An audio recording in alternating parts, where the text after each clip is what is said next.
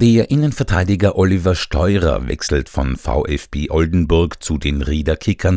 Der 28-jährige Deutsche hat dort einen Zweijahresvertrag unterschrieben. SVR Sportvorstand Wolfgang Fierler wollte noch einen linksfüßigen Innenverteidiger in den Kader nehmen, um dort noch bessere Alternativen zu haben